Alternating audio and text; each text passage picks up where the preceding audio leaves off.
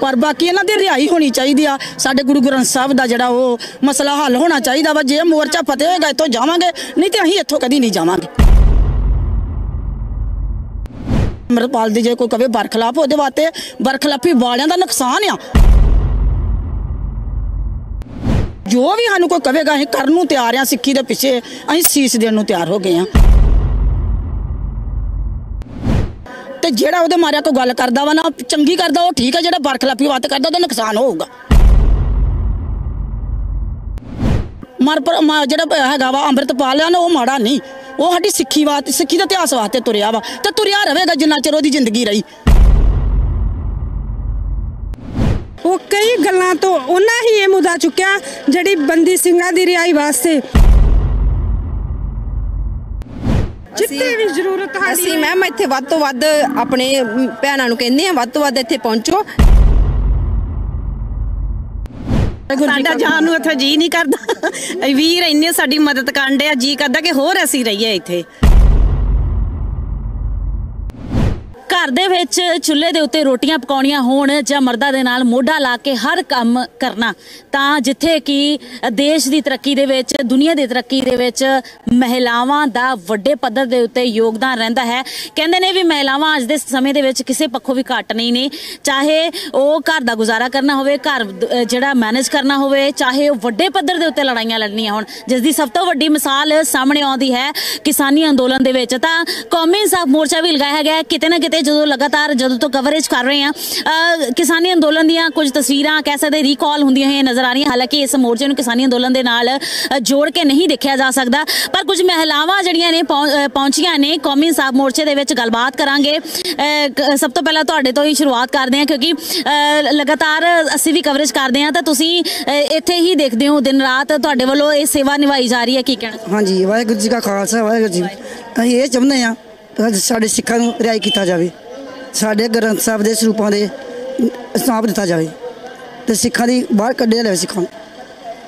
ਤੇ ਸਾਡੇ ਜਿਹੜੇ ਨਸ਼ੇ ਆ, ਸਰਕਾਰ ਮੁਕਾਵੇ ਅਸੀਂ ਉਹ ਮੰਗਾ ਮੰਗਦੇ ਆ ਗੱਲ ਕੀਤੀ ਜਾਵੇ ਇੱਕ ਮਹਿਲਾ ਹੋਣ ਦੇ ਨਾਤੇ ਕਾਫੀ ਸਮੱਸਿਆਵਾਂ ਦਾ ਸਾਨੂੰ ਸਾਹਮਣਾ ਕਰਨਾ ਪੈਂਦਾ ਹੈ ਕਿ ਹਾਂਜੀ ਬਹੁਤ ਸਾਰੀਆਂ ਸਮੱਸਿਆ ਦਾ ਸਾਹਮਣਾ ਕਰਨਾ ਪੈਂਦਾ ਪਰ ਅਸੀਂ ਜਦੋਂ ਦੇ ਇੱਥੇ ਆਏ ਆ ਦੋ ਦਿਨ ਹੋ ਗਏ ਸਾਨੂੰ ਆਇਆ ਨੂੰ ਬਹੁਤ ਵਧੀਆ ਇੰਤਜ਼ਾਮ ਕੀਤਾ ਗਿਆ ਹੈ ਬੀਬੀਆਂ ਵਾਸਤੇ ਬਹੁਤ ਇੰਤਜ਼ਾਮ ਕੀਤਾ ਗਿਆ ਸਾਨੂੰ ਟੈਂਟ ਦਿੱਤਾ ਗਿਆ ਹੈ ਵੱਖਰਾ ਤੇ ਸਾਡੇ ਸਿੰਘ ਨਿਹੰਗ ਜਿਹੜੇ ਆ ਵੀਰ ਸਾਡੀ ਉਹ ਆਣ ਕੇ ਮਿੰਟ ਮਿੰਟ ਦੇ ਮਦਦ ਕਰਦੇ ਆ ਤੁਹਾਨੂੰ ਕਿਸੇ ਚੀਜ਼ ਦੀ ਜ਼ਰੂਰਤ ਆ ਜੋ ਵੀ ਤੁਹਾਨੂੰ ਚਾਹੀਦਾ ਹੈ ਸਾਨੂੰ ਦੱਸੋ ਸਾਨੂੰ ਸਾਡੀ ਬਹੁਤ ਜ਼ਿਆਦਾ ਹੈਲਪ ਕੀਤੀ ਗਈ ਹੈ ਇੱਥੇ।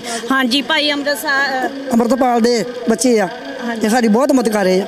ਅੰਮ੍ਰਿਤਪਾਲ ਦੀ ਜੇਕਰ ਗੱਲ ਕੀਤੀ ਜਾਵੇ ਤਾਂ ਕਿਤੇ ਨਾ ਕਿਤੇ ਬੀਬੀਆਂ ਜਿਹੜੀਆਂ ਨੇ ਬਹੁਤ ਜ਼ਿਆਦਾ ਅਟਰੈਕਟ ਹੋ ਰਹੀਆਂ ਨੇ, ਕਹਿੰਦੀਆਂ ਨੇ ਕਿ ਸਾਡੇ ਬੱਚਿਆਂ ਨੂੰ, ਕਿਉਂਕਿ ਅਸੀਂ ਰੋਜ਼ ਕਵਰੇਜ ਕਰਦੇ ਆ ਹਰ ਖਬਰ ਦੇ ਉੱਤੇ ਸਾਡੀ ਨਜ਼ਰ ਰਹਿੰਦੀ ਆ। ਨਸ਼ਿਆਂ ਦੇ ਕਰਕੇ ਇਸ ਤਰੀਕੇ ਦੇ ਨਾਲ ਨਸ਼ਾ ਘੋਣ ਵਾ- ਵਾਂਗੂ ਪੰਜਾਬ ਦੀ ਜਵਾਨੀ ਨੂੰ ਖਾ ਰਿਹਾ ਤੇ ਲੱਖਾਂ ਮਾਵਾਂ ਦੀ ਗੋਦ ਸੁੰਨੀ ਹੁੰਦੀ ਹੋਈ ਨਜ਼ਰ ਆਉਂਦੀ ਹੈ। ਤੇ ਕਈ ਮਾਵਾਂ ਜਾਂਦੀਆਂ ਨੇ ਕਿ ਮੇਰੇ ਪੁੱਤ ਦਾ ਨਸ਼ਾ ਛੁਡਾ ਦਿਓ ਪਰ ਅੰਮ੍ਰਿਤਪਾਲ ਦੀ ਆਪਾਂ ਗੱਲ ਕਰੀਏ ਤਾਂ ਬਹੁਤ ਅ, ਵੱਡੇ ਪੱਧਰ ਦੇ ਉੱਤੇ ਉਹਨਾਂ ਦਾ ਵਿਰੋਧ ਵੀ ਹੁੰਦਾ ਹੈ। ਕੀ ਕਹਿਣਾ? ਨਾ ਇੱਕ ਇਹੀ ਨਸ਼ੇ ਤੇ ਹੀ ਬੱਚਿਆਂ ਨੂੰ ਬਚਾ ਰਹੇ ਨੇ ਅੰਮ੍ਰਿਤ ਛਕਾ ਰਹੇ ਨੇ ਬੱਚਿਆਂ ਨੂੰ ਬਹੁਤ ਹੀ ਵਧੀਆ ਸਿੱਖਿਆ ਦੇ ਰਹੇ ਨੇ। ਤਾਂ ਹੀ ਤਾਂ ਇਹ ਸਾਰਾ ਪੰਜਾਬ ਉਹਨਾਂ ਦੇ ਪਿੱਛੇ ਲੱਗਿਆ ਹੋਇਆ ਹੈ ਨਾ। ਵਧੀਆ ਮ- ਬੱਚਿਆਂ ਨੂੰ ਸਿੱਖਿਆ ਮਿਲ ਰਹੀ ਹੈ ਤਾਂ ਫੇਰ ਹੀ। ਉਹ ਕਈ ਗੱਲਾਂ ਤੋਂ ਉਹਨਾਂ ਹੀ ਇਹ ਮੁੱਦਾ ਚੁੱਕਿਆ ਜਿਹੜੀ ਬੰਦੀ ਸਿੰਘਾਂ ਦੀ ਰਿਹਾਈ ਵਾਸਤੇ ਉਹਨਾਂ ਹੀ ਗੁਰੂ ਗ੍ਰੰਥ ਸਾਹਿਬ ਦੀ, ਉਹਨਾਂ ਹੀ ਦੇ ਹੀ ਮੋਰਚੇ ਮਤਲਬ ਇੱਥੇ ਲੱਗੇ ਹੋਏ ਨੇ। ਉਹਨਾਂ ਦੇ ਕਾਰਨ ਹੀ ਸਭ ਕੁਝ ਵਧੀਆ ਹੋ ਰਿਹਾ ਹੈ। ਤੇ ਅਸੀਂ ਕਿਉਂ ਨਾ ਉਹਨਾਂ ਦੇ ਪਿੱਛੇ ਲੱਗੀਏ ਅਸੀਂ ਆਪਣੇ ਵੀਰਾਂ ਦੇ ਨਾਲ, ਆਪਣੇ ਪੁੱਤਰਾਂ ਦੇ ਨਾਲ ਮੋਢਾ ਨਾਲ ਮੋਢਾ ਲਾ ਕੇ ਸਾਥ ਦੇਵਾਂਗੇ। ਅਸੀਂ ਇਸ ਮੋਰਚੇ ਨੂੰ ਵੀ ਫਤਿਹ ਕਰਾਂਗੇ। ਬੋਲੇ ਸੋ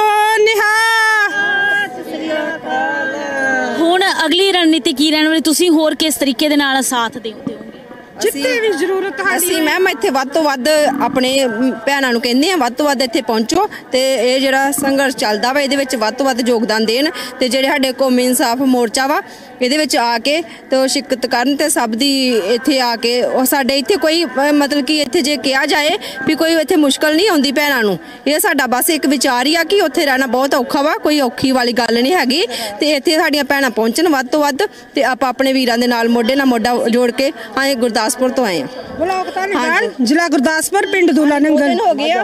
ਤੇ ਅਸੀਂ ਇੱਥੇ ਰਵਾਂਗੇ ਤੇ ਆਪਣਾ ਸੰਘਰਸ਼ ਅਸੀਂ ਇੱਥੇ ਚਾਲੂ ਰੱਖਾਂਗੇ। ਜਦੋਂ ਤੱਕ ਸਾਡਾ ਸਾਡਾ ਜਾਣ ਨੂੰ ਇੱਥੇ ਜੀ ਨਹੀਂ ਕਰਦਾ। ਵੀਰ ਇੰਨੇ ਸਾਡੀ ਮਦਦ ਕਰਨ ਡਿਆ ਜੀ ਕਰਦਾ ਕਿ ਹੋਰ ਅਸੀਂ ਰਹੀਏ ਇੱਥੇ। ਹਾਂਜੀ ਵਾਹਿਗੁਰੂ ਜੀ ਕਾ ਖਾਲਸਾ ਵਾਹਿਗੁਰੂ ਜੀ ਕੀ ਫਤਿਹ। ਬਹੁਤ ਖੁਸ਼ ਹਾਂ ਇੱਥੇ ਹੀ ਆਣ ਕੇ।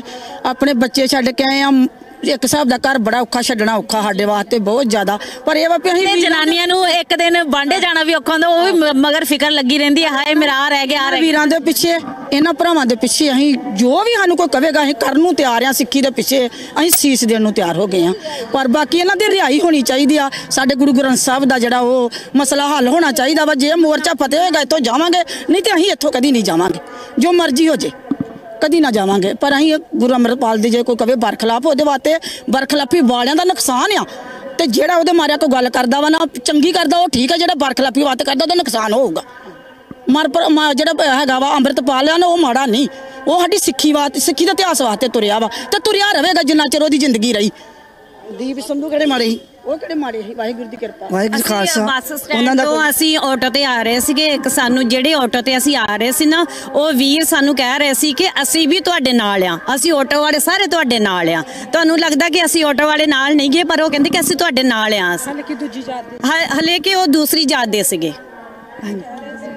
ਤਾਂ ਬਹੁਤ ਬਹੁਤ ਧੰਨਵਾਦ ਗੱਲ ਕੀਤੀ ਜਾਵੇ ਮਹਿਲਾਵਾਂ ਦੇ ਵੱਲੋਂ ਵੱਡੇ ਪੱਧਰ ਦੇ ਉੱਤੇ ਯੋਗਦਾਨ ਦਿੱਤਾ ਜਾ ਰਿਹਾ ਹੈ ਤੇ ਹੌਸਲੇ ਪੂਰੀ ਤਰ੍ਹਾਂ ਬੁਲੰਦ ਨਜ਼ਰ ਆ ਰਹੇ ਨੇ।